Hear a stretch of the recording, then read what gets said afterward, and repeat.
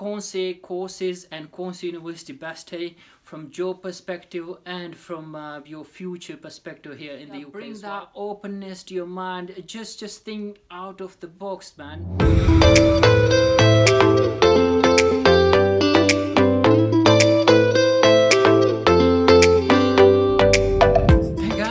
once again welcome back to my youtube channel with another useful and important video i need to share with you guys uh, couple of very important questions that repeatedly been asked on the uh, on the channel here uh, two questions I need to clear here एक तो ये question आता है बार बार repeatedly I try to answer all the time but obviously it's keep repeating the same question here one is about the what is the top university to study civil engineering in the UK the second question is in demand course for civil engineering I mean ये दोनों question बार बार repeatedly आ रहे हैं इस video में सिर्फ़ ये दो बातें मैंने क्लियर करनी है कि कौन से कोर्सेज एंड कौन सी यूनिवर्सिटी बेस्ट है perspective and from uh, your future perspective here in the UK as well. So obviously uh, I understand I'm from the same background as you are, especially the, the Asian community. Uh, Asian में Asian community वहाँ पे यही concept होता है, यही mentality यही होती है कि कौन सी यूनिवर्सिटी जो है रिकग्नाइज है, कौन सी नहीं रिकग्नाइज कहाँ से आपने यूनिवर्सिटी जो डिग्री है वो आपने करनी है? uh, तो बिल्कुल ये I understand why this this question has been repeatedly ask here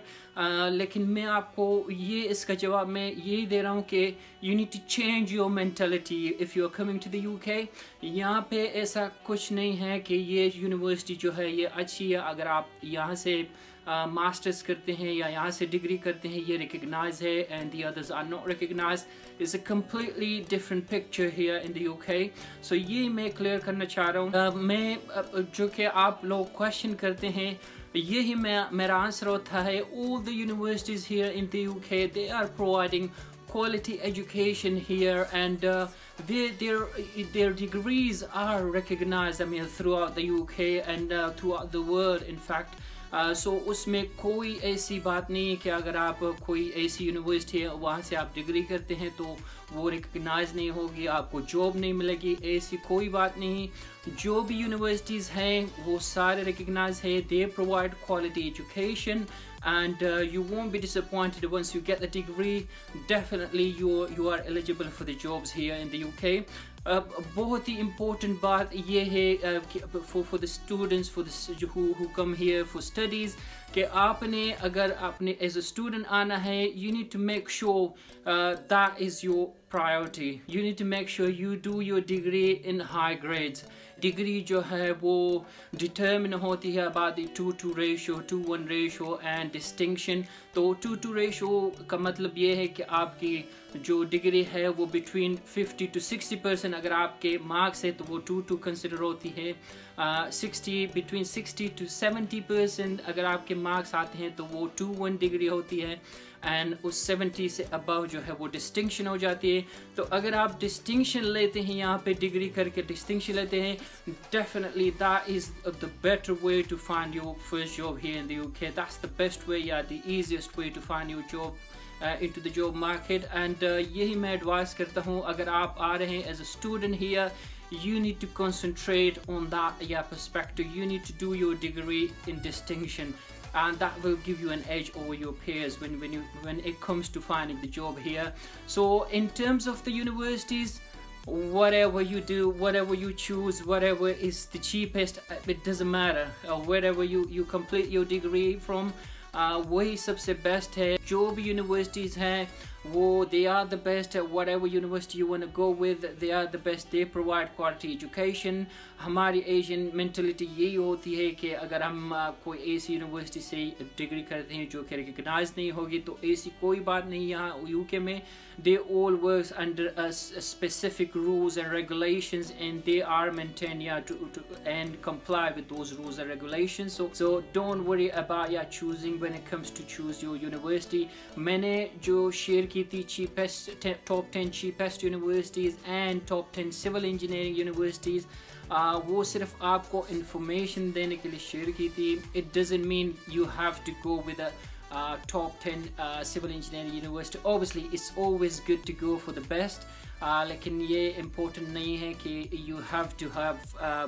have that degree from those universities uh, अगर आप cheapest में भी जाना चाह रहे हैं if they cover your course your modules that's the best uh, so I hope guys I mean this clear at least yeah that one side of your question uh, which universities are the best for civil engineering. Let's move on to the second question which is repeatedly been asked about the what is in demand civil engineering course in the UK. तो यहाँ पे भी जो है मैं share कर रहा हूँ अपना पर्सनल एक्सपीरियंस एंड जो कि इन डिमांड यहाँ पे है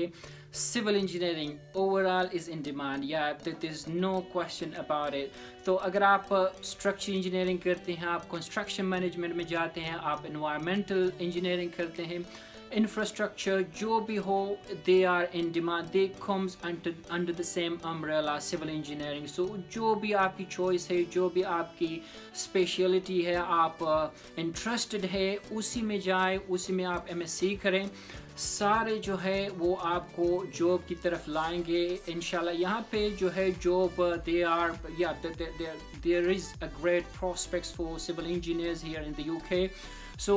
एक बात और जो है मैं आपको क्लियर करना चाह रहा हूँ यहाँ पे आ, कि अगर आप सोच रहे हैं कि आप स्ट्रक्चर इंजीनियरिंग एमएससी करते हैं तो आपको सिर्फ़ स्ट्रक्चर इंजीनियरिंग जॉब पे भी जाना चाहिए। आप सिर्फ़ वो सर्च करेंगे यहाँ पे। ऐसी कोई बात नहीं है यहाँ पे। अगर यहाँ पे हम इसको बोलते हैं ट्रांसफरेबल स्किल्स तो अगर आप स्ट्रक्चर इंजीनियरिंग एमएससी करते हैं that mean your skills are transfer transferable into the civil engineering as well or construction management as well so you could do you could apply for uh, the structure engineering as well as civil engineering as well as construction management so you are open to apply for any jobs there and you need to clear your mind there it doesn't mean you you don't have to restrict yourself when you uh, when you go for your MSc degree Degree अब अब मैं अपनी मिसाल देता हूँ कि मैं जब यहाँ पे आया था तो मैंने की है एमएससी इंस्ट्रक्चर इंजीनियरिंग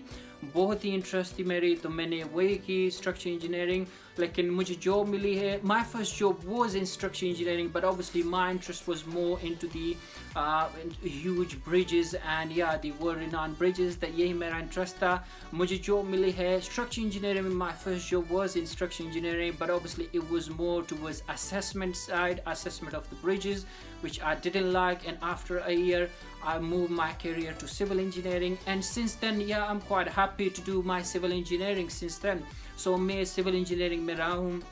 इसके अलावा मैंने काफ़ी सारी जो है और other discipline within civil engineering मैंने मैनेजमेंट में भी की है काम कंस्ट्रक्शन में भी की है तो you can vary your your your you can vary your targets along the way so it doesn't mean if you do your M S C in one subject you have to stay there for rest of your life ऐसी कोई बात नहीं है आप change कर सकते हैं। As long you you get the first job that is the main thing so the first job के लिए आपको uh, अपने आप को रिस्ट्रिक्ट नहीं करना है कि अगर आपने एम जो है वो कंस्ट्रक्शन uh, मैनेजमेंट में की है तो it does mean you only search for construction management jobs you can search for civil engineering jobs you can go for environmental you can go in the water industry you can go oil and gas uh, you can go structure engineering as well so it doesn't mean yeah you you don't have to restrict so keep that in mind keep yeah bring that openness to your mind just just think out of the box man ये यही question बार बार repeat होता है कि या which course is in demand so मैं बोलता हूँ, जो भी आपका इंटरेस्टेड है, जिस चीज़ में भी आपका इंटरेस्ट है एमएससी उसी में करें। अगर आप जो फ़ील्ड जो है, आप उसी में इंटरेस्टेड है डेफिनेटली डाउन द लाइन आपको मौका मिलेगा डाउन द लाइन कि आप उसी फ़ील्ड में जा सकते हैं। जैसे मैंने बताया अपनी एग्जांपल दी कि अगर आप इंटरेस्टेड उस फ़ील्ड में जो मिल जाती है, अगर इंटरेस्टेड नहीं है तो is quite easy to switch over to another discipline is well so यही मैं आपके साथ शेयर करने वाला था इस वीडियो में। आपने मुझे कमेंट में बताना है कि अगर आपका क्वेश्चन यही था तो प्लीज़ आप कंफर्म कर दें कमेंट में कि हाँ अब क्लियर हो गया। लेकिन अगर अब भी कोई डाउट्स है anything I can help I can provide you more help so please do comment and I hope this clarifies you both question here and keep watching and please press the subscribe and like button thanks for watching